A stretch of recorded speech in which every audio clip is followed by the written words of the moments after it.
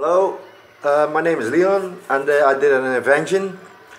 Uh, I want to uh, ask for help for someone that can uh, help me produce these kind of gadgets. It's a free electricity gadget. Uh, it's it contains water and a specific device plus a water mill that I have invented in that generates electricity. This is a perpetuum mobile. It runs automatically.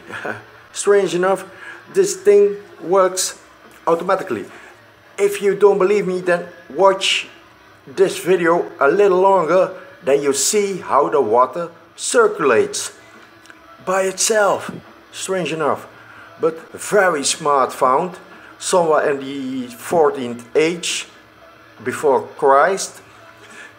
But I put it a watermelon, and this watermelon generates electricity.